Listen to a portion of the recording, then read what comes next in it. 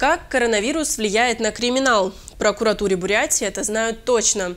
Судя по общему количеству преступлений, текущий год пока оказывается спокойнее, чем прошлый. Однако есть среди преступников и те, кто даже в пандемию выходит на дело чаще.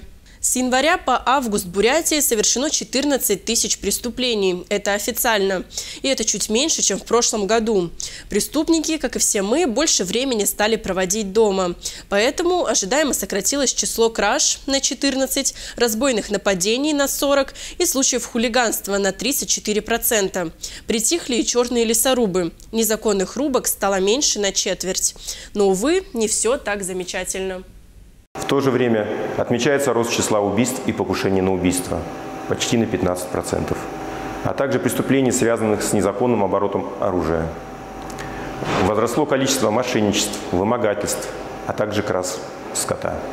Что ж, не оставляйте без присмотра скот, если он у вас есть. А главное, любите и берегите себя и своих близких. Ну а мы идем дальше.